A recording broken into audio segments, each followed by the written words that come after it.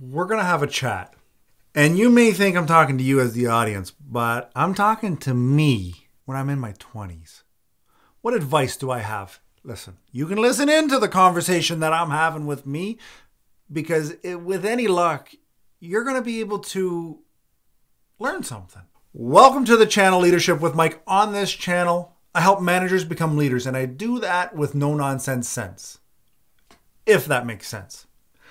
Now, like I said, today I'm talking to me 20 years ago, or 20 ish years ago. What advice do I have?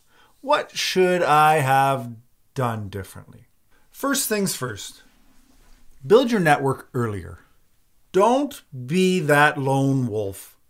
Now, some people, like myself, bounced around different schools and worked at different restaurants for, you know, a year, two years. Try to build more relationships.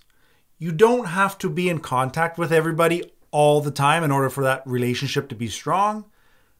But having a solid network, I look at people around me that have built a network and literally have a guy for everything. Start working on being that guy that has a guy, and I think that will really help you in your future. Have more fun.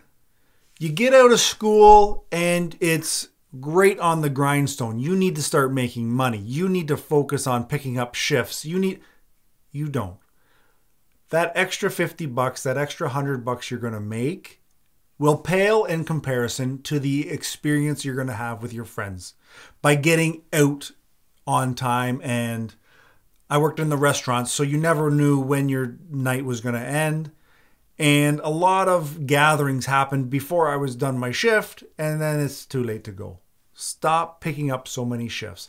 Yes, of course, you have responsibilities, you have bills you have to pay, you have things you want to do, but just loosen up a little bit. Have some fun. It's not all about work. This is a big one. Don't finance yourself into some handcuffs. When I was younger, I bought I bought a beautiful bike. I'm to, the picture's going to be right here. But I financed it. I financed a car before that. I financed stuff before this. That is going to hinder your ability to say, I'm not picking up the extra shift and I'm going to build experiences. When you finance anything, usually it's because you can't pay for it. But you can fit into the easy squeezy plan of 199 a month. But what happens when you get three of those? Now you're in for 600 bucks. Try as hard as you can to stay away from financing. If you need a set of wheels, you don't need a brand new set of wheels. Don't be afraid to roll around in an old beat up pickup truck. Maybe that's my redneck coming out, but don't finance everything.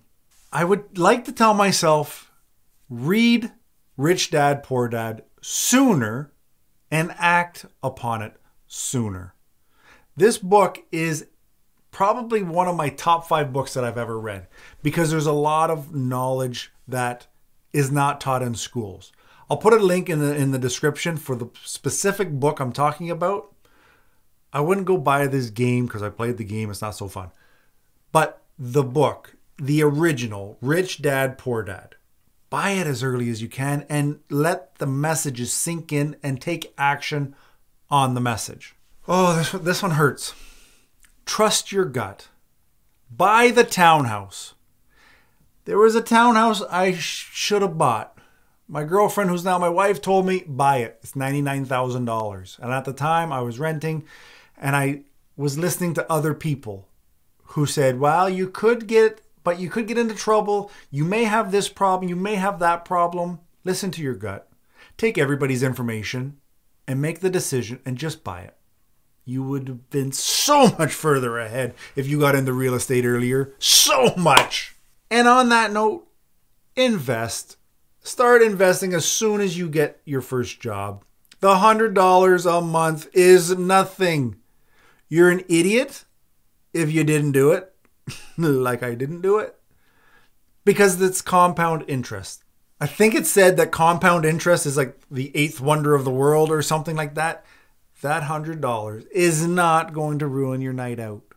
not when it's spread out over a month. If you can afford a Starbucks a day, you can afford to invest in yourself.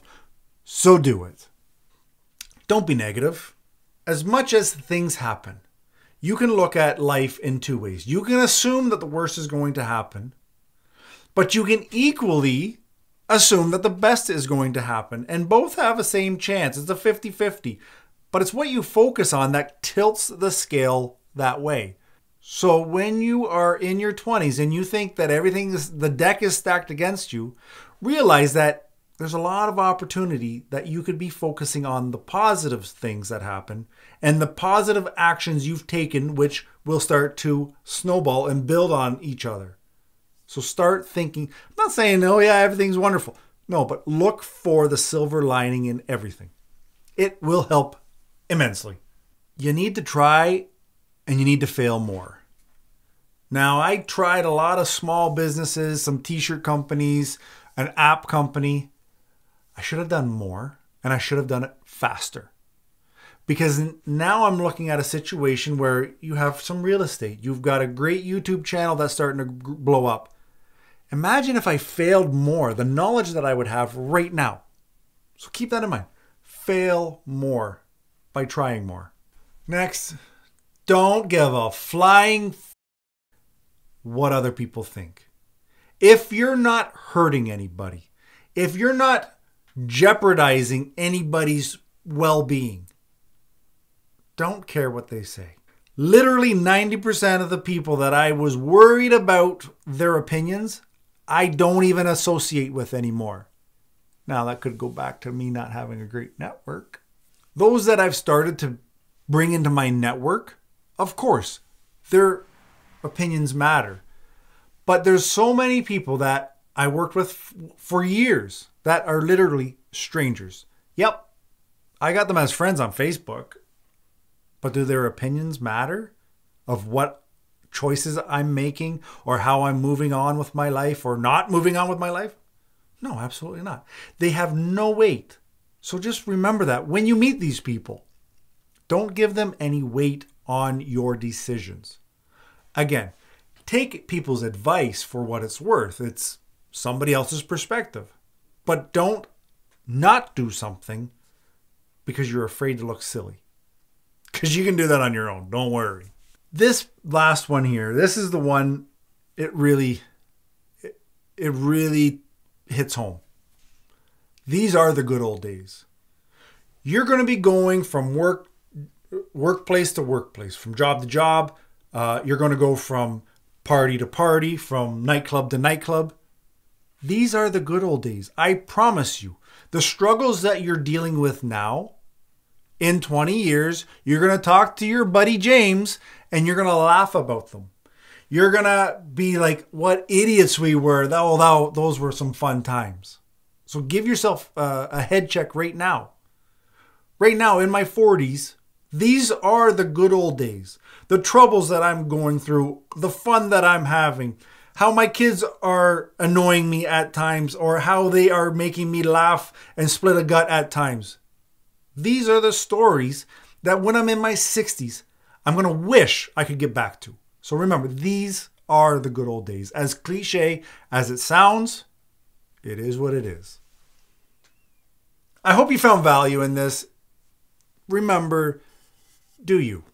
You've only got one life, so don't be too scared of investing. Don't be too afraid of failing. Don't be afraid of just trying to make life for you as early as you can. Oh, one more, one more. That girlfriend you got, marry her a little earlier.